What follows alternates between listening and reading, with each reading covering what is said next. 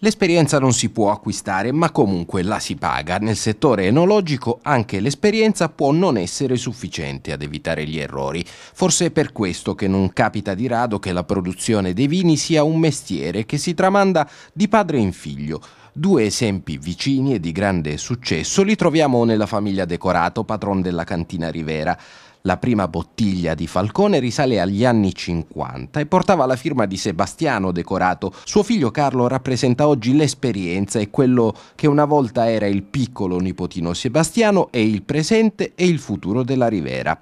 Sono padre e figlia Michele e Violante Placido. L'attore pugliese si è cimentato quest'anno nella produzione di vini e si è presentato al Vinitali. È riuscito a coinvolgere sua figlia, la bella e brava attrice Violante, in questa avventura. Una passione comunque che ci accomuna, anche la voglia comunque di tenere un legame con le mie origini e veramente la voglia di mettere un faro su questa parte della Puglia che è più sconosciuta e mm, insomma eh, aiutarla ad una riscoperta. Anche la cantina Paolo Leo rappresenta una tradizione familiare di produzioni enoiche. Il patron Paolo lavora costantemente a fianco del figlio Nicola ed è convinto che anche il nipotino Paolo, respirando sin da piccolo l'aria della cantina, non potrà che amare questo mondo. La nostra è un'azienda basata sulla famiglia in particolare, ma questo perché ho ereditato da mio nonno e da mio padre questa educazione, questa forma di rispetto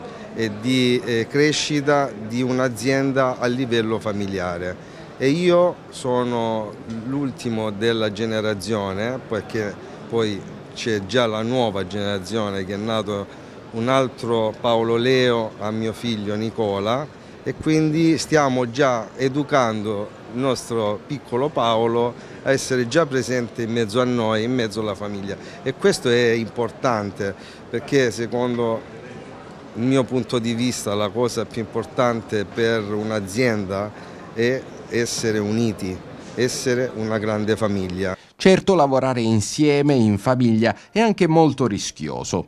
Lavorare col papà in un campo diverso da quello artistico. Ma sicuramente molto più facile. Basta trovare i giusti equilibri. Si lavora bene perché tanto ci occupiamo tutti di rami diversi.